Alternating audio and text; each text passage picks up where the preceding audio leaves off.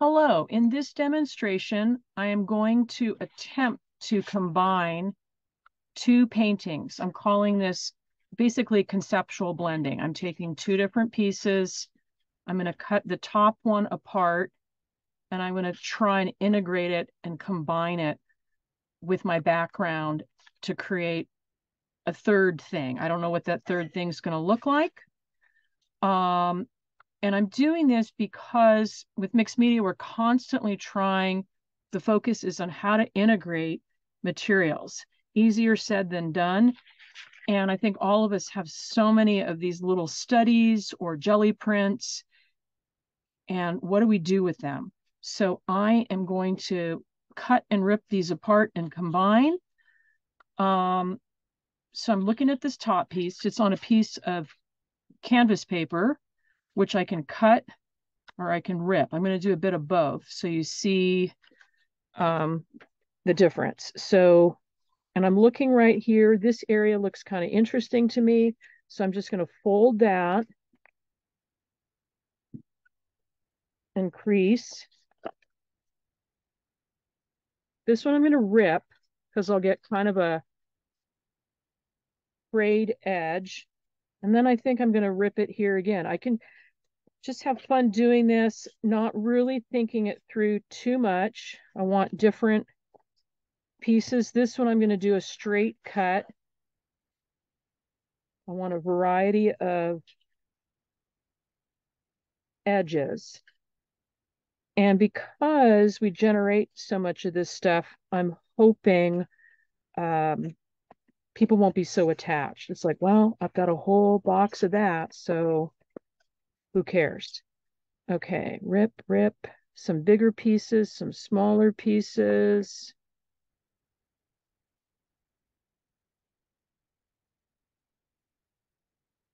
Got a little narrow piece there. Okay.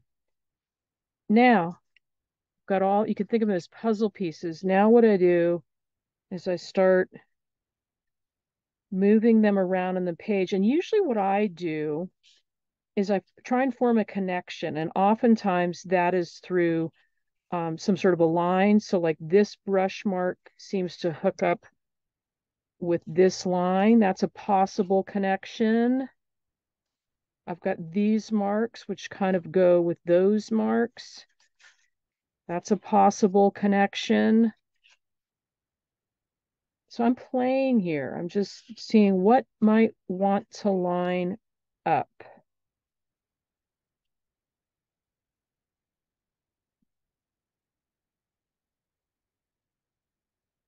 These kind of connect there.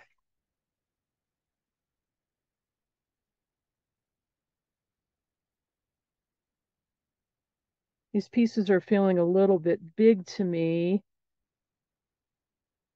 Kind of like that.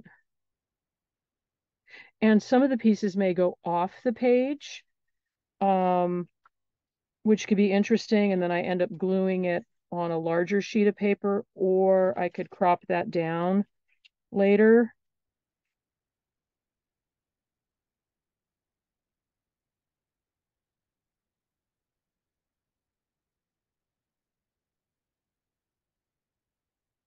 So this is kind of lining up with this swoosh right here.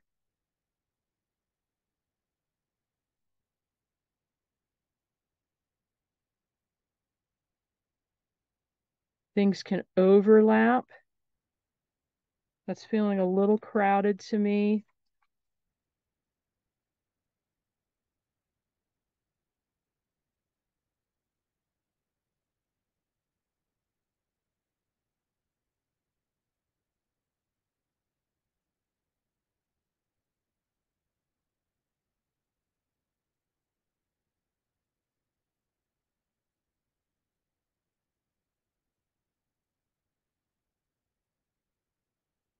This takes time.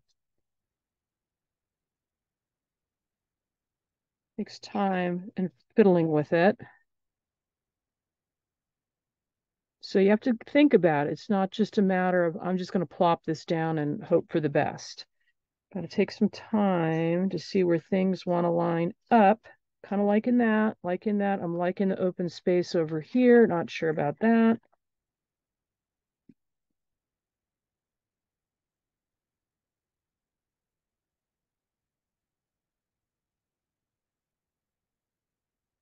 Kind of liking this connect right here. Okay, you know what? For simplicity's sake, I think I'm just going to go with maybe those three things. I like that I've got some breathing room over here. I like this going off slightly. Maybe there's a smaller piece over like teeny tiny. So playing with the scale. Okay, I'm going to do this for starters. And um, I'm going to use, normally I'd use Mod Podge. I was fiddling with this, this uh, gloss gel that I got from when the Golden Rep came. So I am going to, it's thicker. I kind of, I like it. Um,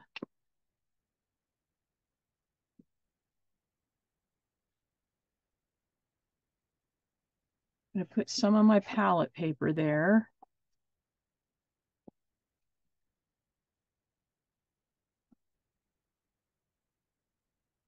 And I'm going to use this foam brush.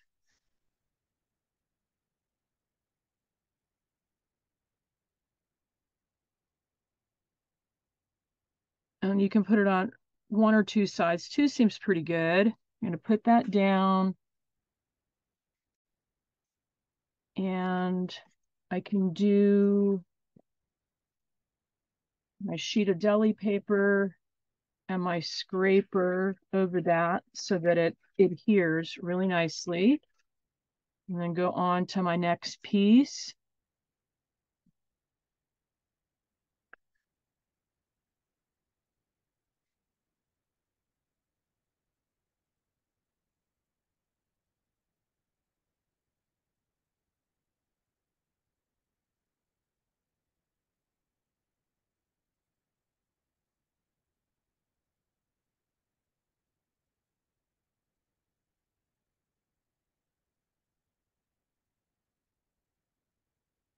Remember where those pieces were. I think I want this down right about there.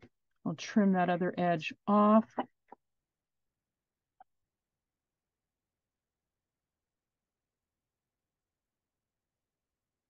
Okay, this is going to be here.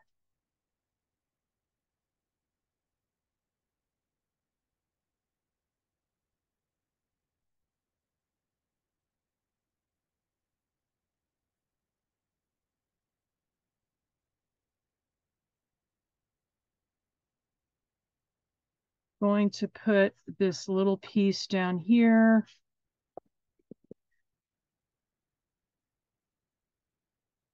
I think maybe over there. You know what? I'm not sure yet, but I like there being a smaller piece there. Okay, now I have some decisions to make. If I'm doing a piece that has a bunch of pieces coming off the edge and I like that. I kind of like it breaking the frame. I could glue this whole piece down to a white sheet of Bristol board. Another choice, which I think I like it the way it is, but another choice would you could get some strips of paper. Hang on, let me move this over here. Strips of paper and uh, just crop it. Go, okay, so what if I,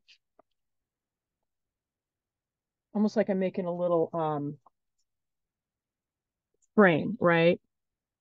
So I could play with, actually it's better if I just put straight strips down. I can play with, you know, I could crop it in this close.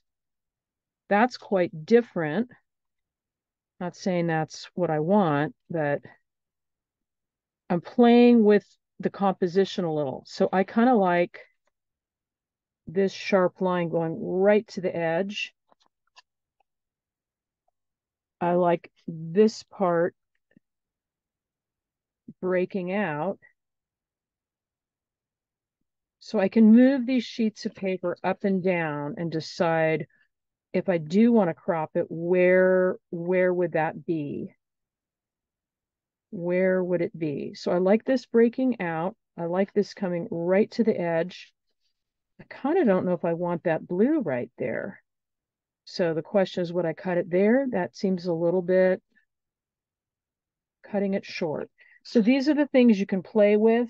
We will also be playing with this in the future, making small viewfinders. Actually, you know what? You could do it today. You could make a whole piece like this, and you could make a small viewfinder and go around and go, there's a small composition. You could trace it with a pencil, cut it out. There's a small composition. There's a small composition. Okay. Um, and, and cut those out, and those would be pieces. Or I'm just flying by the seat of my pants right now. I'm going to do this. I'm going to outline this. I'm going to take this in another direction. So I'm going to outline this charcoal pencil, and you can make different size viewfinders. Pencil might be better, but here we go, charcoal.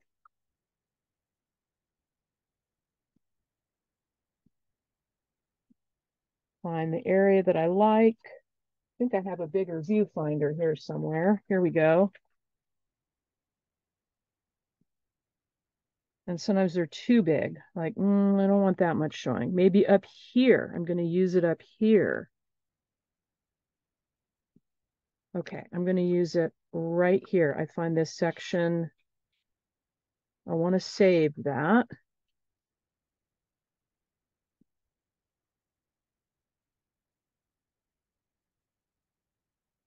And then I'll go to the smaller one over here.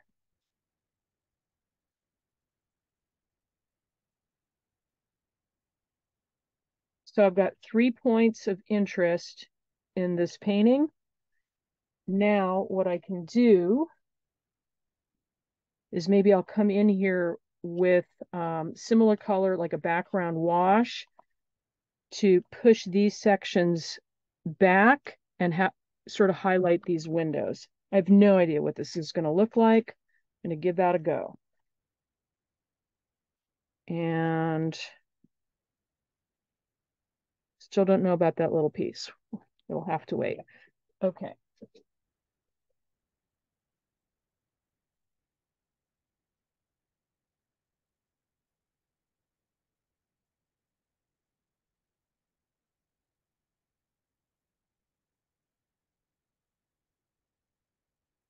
Okay, I'm just debating now what color to put in here. Do I go blue? Do I take it a completely different direction? I've got this acrylic burnt umber ink, Van Dyke Brown.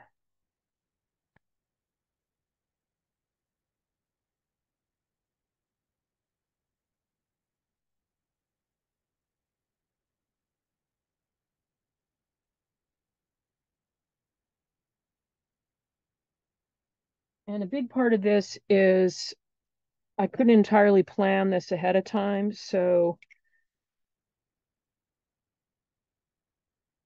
I don't really know. I think I'm going to go with this transparent burnt sienna acrylic ink. I'm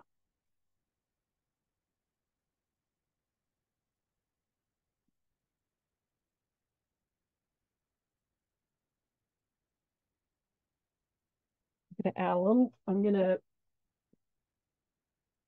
lighten this up. Start out light. Okay, so I'm going to go in here.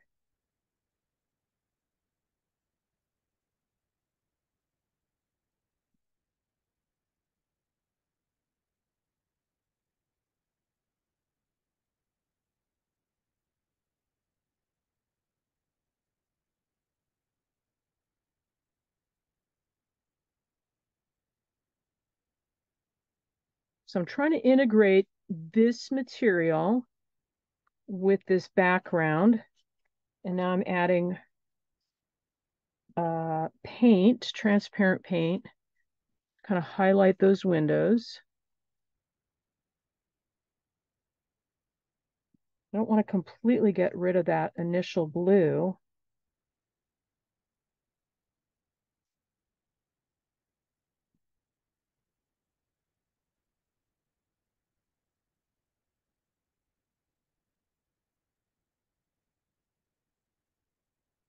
Okay, I'm to do, I like that it's still transparent. I think I'll come in with something a little more opaque and actually block some things out.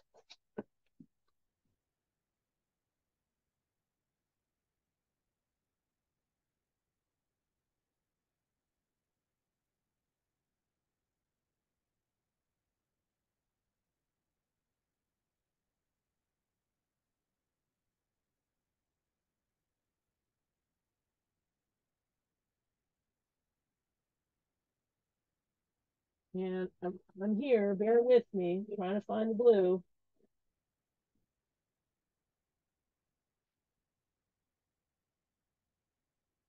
Can't really find the one I want.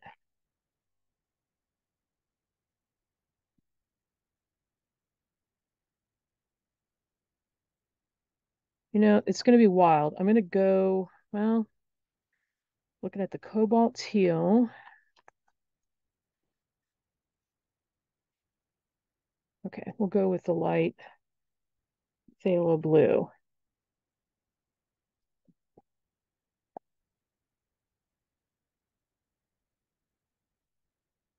Okay, so some of the areas I could also come in and go, so this is thicker, this is more impasto. So actually blocking out certain areas.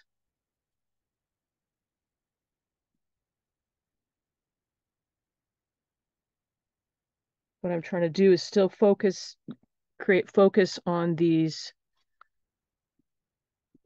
windows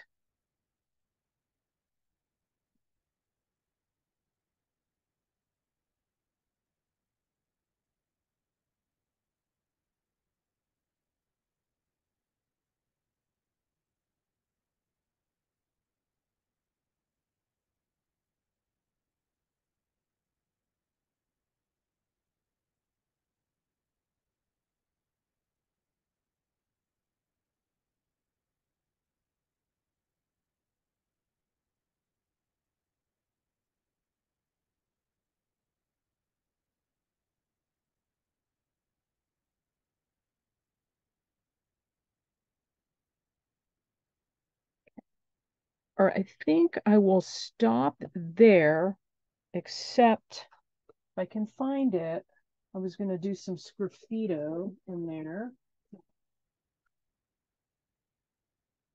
So if the paint is really thick, I can come in. It's already drying. Okay.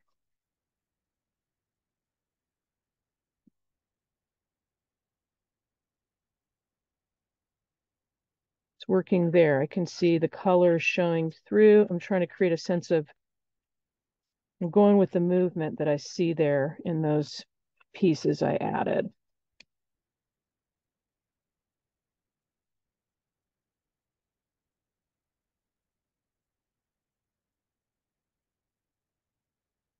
Okay, so that's my attempt, that's my attempt to integrate um, two different uh, paintings that I had made